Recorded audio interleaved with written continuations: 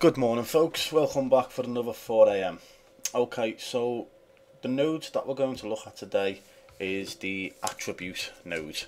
Now, it took me a while to um, actually figure this one out and there is a bit of a, um, a grey area with this as to what what you can actually pull back from your uh, mesh. So what I mean by pulling back is it, it can pull back like um, vertex colors, um, UV maps, stuff like that. So what I'm going to do is, um, first of all, just throw on my keys so you can see what I'm doing. So I'm going to delete that and I'm going to add in, whoops, not that, add in a plane. Okay, now with this plane let's just um, for argument's sake subdivide it a bunch of times okay. Now we're going to go over to our data menu and we're going to add in a vertex color scheme. So we're going to call that vcol1 and it's important that you do name everything correctly uh, because this is what you're going to be pulling back with the node. Okay, so go into vertex paint and this is just a just a little thing that you can do with it basically. This is not the only reason why it gets used. So we're going to go blue strength 1 paint that there. Um, create a new. vcol 2 red on 0.8 and we're going to paint that across there. Create a new one. vcol 3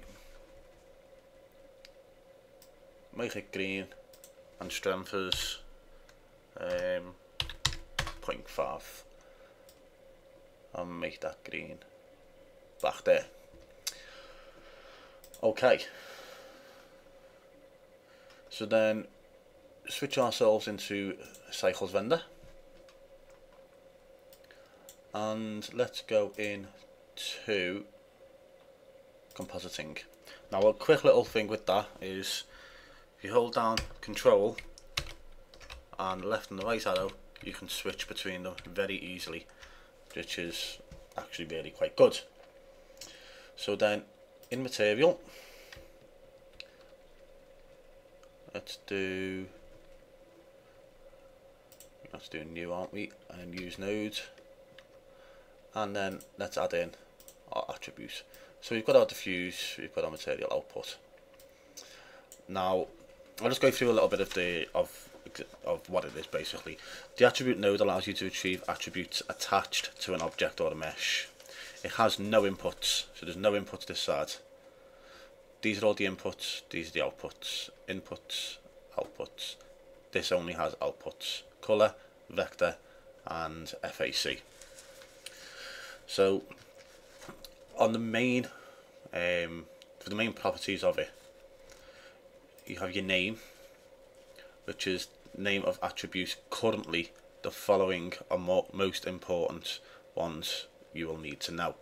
So there's a big big list of these on the internet. Um, this is the grey area to be honest of what exactly can be used on it. So just for now we're just going to focus on the vertex colour because that's a definite that can be used um, and it's the top one that you are going to use on it. So vertex colour layers these can be retrieved uh, by their names. You can also use density of the smoke domain so that's for your physics. Flame the smoke domain. Colour of the smoke domain. And then the ocean foam as well of the ocean modifier. So there is a full list uh, a full list of those on the blender stack exchange. Now on the outputs we have colour. That's an RGB colour interpolated from the attribute.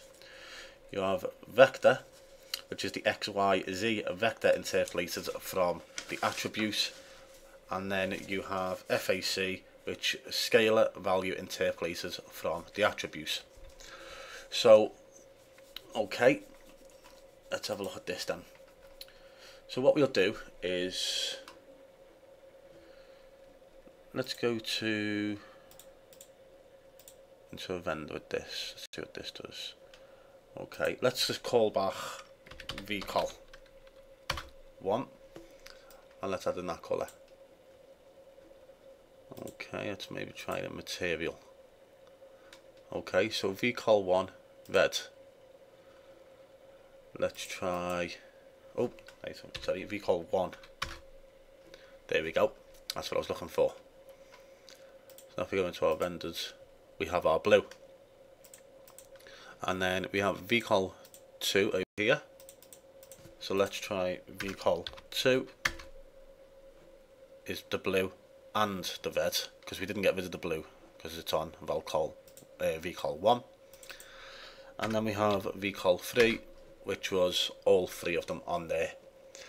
Now I, I'm only I'm quite new to using the nodes so this could be useful for some things. Um, myself personally, um, I couldn't tell you. I, I basically I wouldn't know.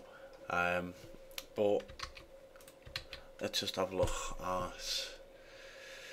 Um, let's try this. Let's try. Will this work? Will this work?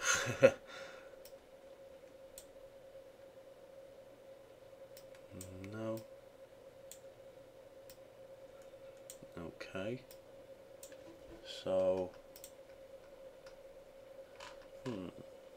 I'm just having a look at like there's a little um, there's a thing on the blender.org and basically it's saying that it can be used like this so let's try that there no and that colour into there maybe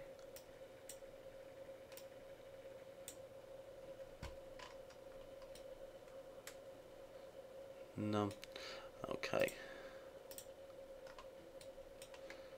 Transparency doesn't really do much for it, does it?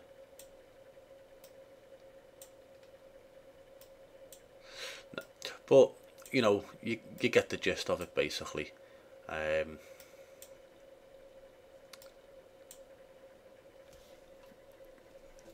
you're going to call back one of its attributes from its data menu so I would assume that that can also be a vertex group, shape key, UV maps, geometry data, anything that's inside of these properties I would think that you can call back.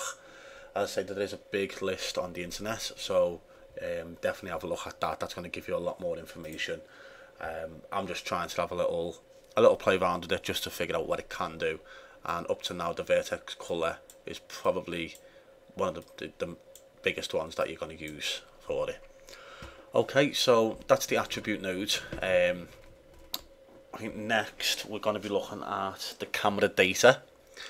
So for now, that will be all folks. And as always, like, comment and subscribe. And hopefully see you again soon. Thank you very much for watching.